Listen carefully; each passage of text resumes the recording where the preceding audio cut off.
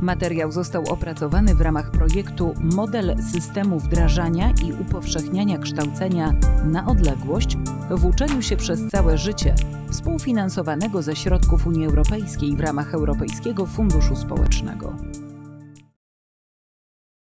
Witaj.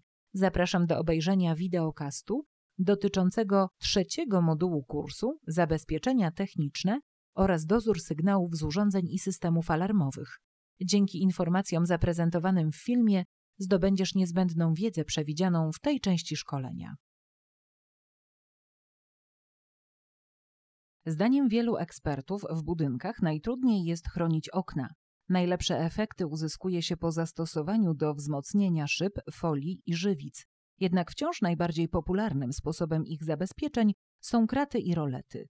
Kraty i rolety to mechaniczne zabezpieczenia budowlane. Kraty i rolety służą utrudnieniu dostania się osoby nieupoważnionej do strefy zabezpieczonej. Nie wpływają jednak na zwiększenie poziomu wykrycia sprawców włamań, ani nie ułatwiają ich identyfikacji.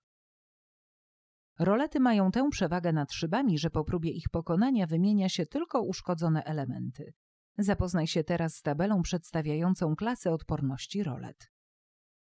Pamiętaj, kraty chronią wprawdzie przed włamaniem, ale jednocześnie uniemożliwiają swobodne wydostanie się na przykład z płonącego pomieszczenia. Kraty, aby można było uznać za dobre, muszą być przede wszystkim poprawnie umocowane do ścian. Źle wykonane kotwienia są łatwe do przecięcia lub wyrwania.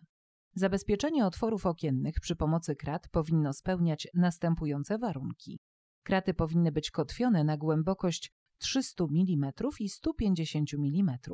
Kraty powinny być zdobione z prętów o grubości minimum 18 mm. Tworzywo, w którym zostały zamocowane kraty, powinno być odporne na uszkodzenia.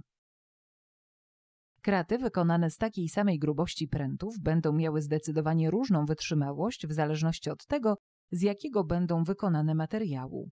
Kraty wykonane z tego samego materiału i takiej samej grubości będą miały różną odporność na atak w zależności od sposobu zakotwienia w ścianie i samej wytrzymałości ściany. O odporności na atak decyduje także sam wzór kraty, czyli liczba i sposób rozmieszczenia prętów, a także ich sposób łączenia. Krata źle zaprojektowana może zmniejszyć bezpieczeństwo. Na przykład krata może stanowić drabinę na wyższe piętra. Dziękuję za uwagę i zachęcam do zapoznania się z pozostałymi materiałami dydaktycznymi zamieszczonymi na platformie edukacyjnej.